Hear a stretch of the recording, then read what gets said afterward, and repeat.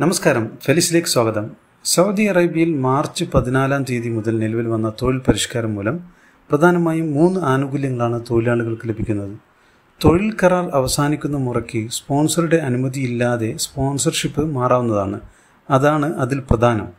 രാജ്യത്തിന് പുറത്തുപോയി വരുന്നതിന് റീ എൻട്രി വിസ സ്വയം ഇഷ്യൂ ചെയ്യാൻ കഴിയുമെന്നതാണ് മറ്റൊന്ന്. കരാർ അവസാനിക്കുമ്പോൾ ഫൈനൽ എക്സിറ്റിൽ രാജ്യം വിട്ടു പോകാനും തൊഴിലാളിക്ക് കഴിയുന്നു. സ്പോൺസർഷിപ്പ് മാറ്റം സർക്കാരിന്റെ ഡിജിറ്റൽ പ്ലാറ്റ്ഫോമായ കിവ വഴിയും രാജ്യത്തു നിന്നുള്ള പോക്കുവരവും രാജ്യം വിടലും അബ്ഷിർ വഴിയുമാണ് സാധിക്കുക. അതേസമയം കരാർ തീരുന്നതിന് മുമ്പ് സ്പോൺസറുടെ സമ്മതമില്ലാതെ റീ എൻട്രി വിസയിൽ രാജ്യം വിട്ട് തിരിച്ചെത്താതിരിക്കുകയും മറ്റൊരു തൊഴിൽ വിസയ്ക്ക് രാജ്യത്തേക്ക് പ്രവേശിക്കുകയും ചെയ്താൽ തൊഴിൽ ലംഘന നടപടികൾക്ക് വിധേയമാകേണ്ടി വരും കൂടാതെ കരാർ അവസാനിക്കുന്നതിന് മുമ്പ് ഒരു സ്പോൺസറിൽ നിന്ന് മറ്റൊരിടത്തേക്ക് തൊഴിൽ മാറാൻ ശ്രമിച്ചാലും വ്യവസ്ഥ പ്രകാരമുള്ള നഷ്ടപരിഹാരം നൽകാൻ തൊഴിലാളി ബാധ്യസ്ഥനാണ്. റീ എൻട്രി വിസ ഇഷ്യൂ ചെയ്യൽ ഇനി മുതൽ തൊഴിലാളിയുടെ ഉത്തരവാദിത്തമായിരിക്കും. തൊഴിൽ മാറ്റം ഉദ്ദേശിക്കുന്നവർ മൂന്ന് മാസം മുമ്പ് തൊഴിലുടമയെ രേഖാമൂലം അറിയിച്ചിരിക്കണം എന്നും നിയമം അനുശാസിക്കുന്നു. Labour reform initiative L R I എന്നറിയപ്പെടുന്ന പുതിയ പരിഷ്കാരം സൗദി അറേബ്യയിലെ തൊഴിലുടമകളും ജീവനക്കാരും തമ്മിലുള്ള കരാർ ബന്ധം മെച്ചപ്പെടുത്തുന്നതിനും സ്വകാര്യ മേഖലയെ പരിശോധിപ്പിക്കുന്നതിനും വേണ്ടിയുള്ളതാണ്. കരാർ ബന്ധുത്വ നില മെച്ചപ്പെടുത്തൽ ലക്ഷ്യം വെച്ച് സൗദി മാനവ വിഭവശേഷി സാമൂഹിക വികസന മന്ത്രാലയം പുറത്തിറക്കിയ ഉപഭോക്തൃ മാർഗരേഖ പ്രകാരം ഇരു കക്ഷികൾക്കും നിരവധി പ്രയോജനങ്ങൾ വാഗ്ദത്തം ചെയ്യുന്നു എന്ന സവിശേഷതയുമുണ്ട്. പുതിയ രീതി അനുസരിച്ച് എക്സിറ്റ് റീ എൻട്രിക്കോ ഫൈനൽ എക്സിറ്റിനോ വേണ്ടി തൊഴിലാളി ഡിജിറ്റൽ മാർഗത്തിൽ അപേക്ഷ സമർപ്പിച്ചാൽ പത്ത് ദിവസം കാത്തിരിക്കണം. ഇത് തൊഴിലുടമയ്ക്ക് ജീവനക്കാരന്റെ അപേക്ഷ സംബന്ധിച്ച് അന്വേഷിക്കാനുള്ള കാലയളവാണ്. സമയപരിധിക്കുള്ളിൽ തൊഴിലുടമ പ്രതികരിക്കുന്നില്ലെങ്കിൽ കാലാവധി അവസാനിച്ചതായും അഞ്ച് ദിവസത്തിനു ശേഷം മുപ്പത് ദിവസം കാലാവധിയുള്ള വിസ ലഭിക്കുകയും ചെയ്യും. അതുപോലെ തൊഴിൽ കരാർ കാലാവധി തീരുന്നതിന് മുമ്പ് റീ എൻട്രിയോ ഫൈനൽ എക്സിറ്റോ മൾട്ടിപ്പിൾ റീ എൻട്രിയോ അടിക്കാൻ തൊഴിലാളിക്ക് സ്വയം കഴിയില്ല.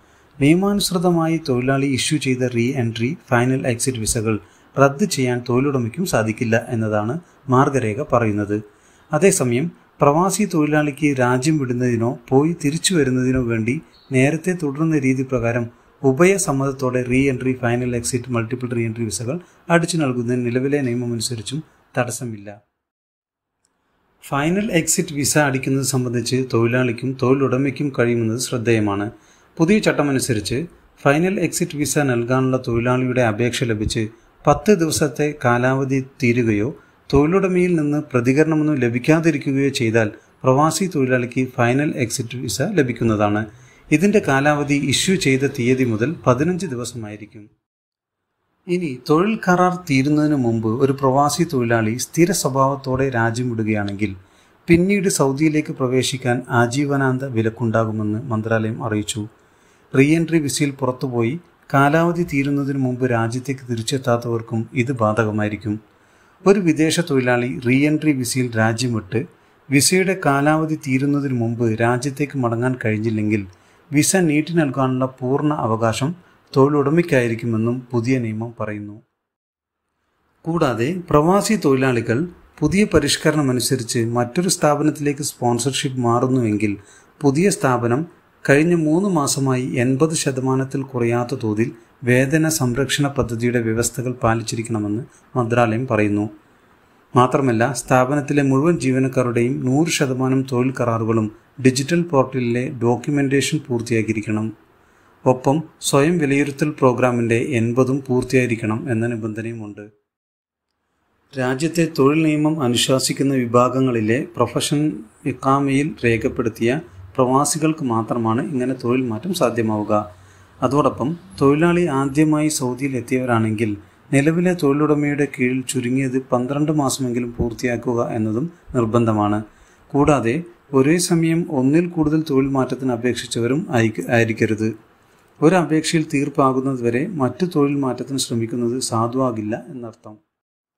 നിലവിൽ സമർപ്പിക്കപ്പെട്ട തൊഴിൽ കരാറിന്റെ അവധി അനുസരിച്ച് അധികൃതർ നൽകിയ അറിയിപ്പ് കാലയളവിനുള്ളിലുള്ളായിരിക്കണം തൊഴിൽ മാറ്റം സാധ്യമാവുക. വീട്ടു ഡ്രൈവർ ഹോം ഗാർഡ് വീട്ടുജോലിക്കാരൻ ഇടയൻ തോട്ടക്കാരൻ അഥവാ കർഷകൻ തുടങ്ങി അഞ്ച് വിഭാഗങ്ങളിലൊഴികെ സ്വകാര്യ മേഖലയിലെ എല്ലാ പ്രവാസി തൊഴിലാളികൾക്കും പുതിയ പരിഷ്കാരത്തിന്റെ ആനുകൂല്യങ്ങൾ ലഭിക്കും. ചാനൽ ഇനിയും സബ്സ്ക്രൈബ് ചെയ്തിട്ടില്ലെങ്കിൽ സബ്സ്ക്രൈബ് ചെയ്യുക. ഇതുപോലെയുള്ള ഏറ്റവും പുതിയ വാർത്തകളും വിവരങ്ങളും അപ്പോൾ തന്നെ നിങ്ങൾക്ക് നോട്ടിഫിക്കേഷനായി ലഭിക്കാൻ ബെൽ ബട്ടൺ ക്ലിക്ക് ചെയ്യുക.